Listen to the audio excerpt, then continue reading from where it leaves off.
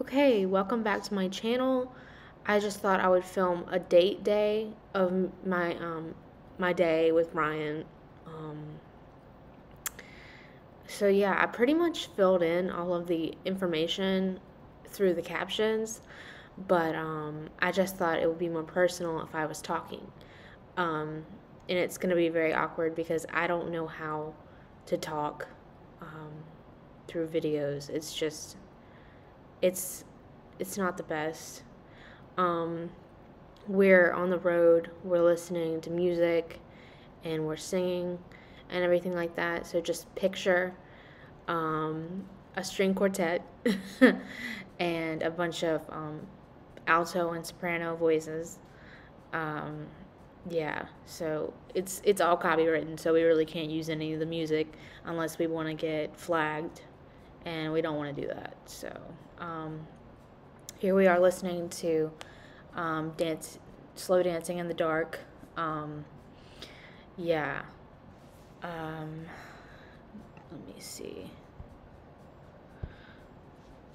Um, we're about to go to um, one of our favorite Japanese restaurants in Lynchburg called Suzaku, and their sushi is so good. We got shrimp tempura because we are not fancy. We don't we don't know how to get the other fancy stuff, um, or the spicy stuff. I hate spice. Oh my god. Um, Brian just got me candy corn.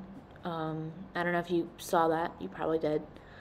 Uh, we're seeing the kit, um, the cats at PetSmart now because whenever we're up here, we go to PetSmart. Um, yeah. Actually, our favorite cat, Bruiser, the orange one that you saw at the beginning, it got um, bought. So that was pretty cool. Um, these pictures are when I asked Ryan to get um, to take pictures of me on Snapchat, and of course he used those filters. I'm leaving therapy now, and um, therapy was actually really really fun. And I'm, I left the sound in for um, the leaves crackling because it's just and the door closing. Um,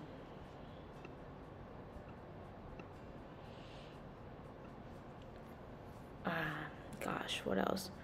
Um, I took that picture. I thought it was pretty great. That's it.